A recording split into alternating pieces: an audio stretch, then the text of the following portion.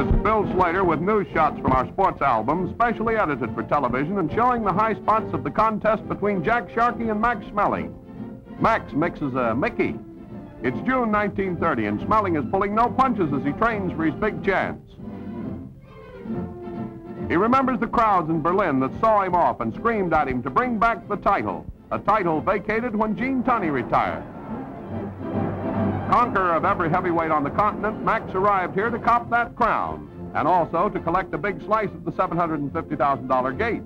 This battle with Sharkey is to be decided by one of the most unusual decisions, a verdict still disputed in boxing circles, but that's for later. Right now, all that's on Max's mind is making sure he's ready to meet America's contender for the vacant crown.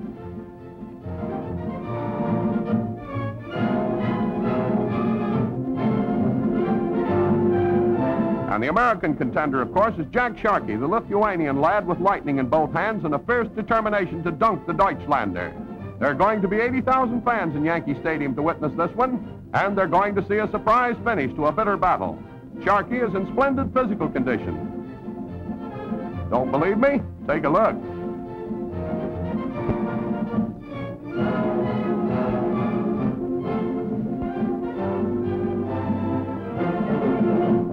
Now let's take a look at Yankee Stadium.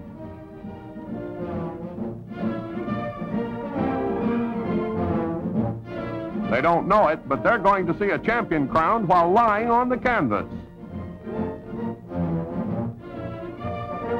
It's the famous fourth round, and the fight has been relatively even up till now.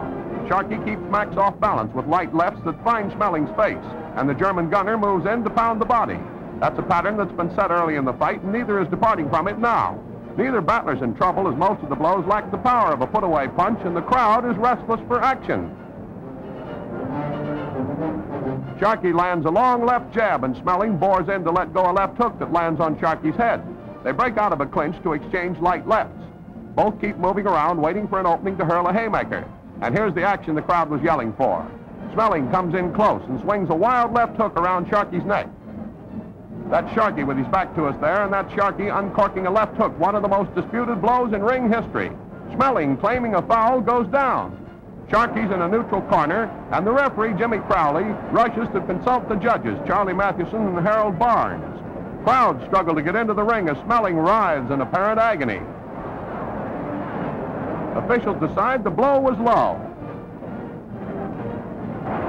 And Max Schmeling is the first European to be heavyweight champion of the world. Max Schmeling, champion until he met Sharkey again.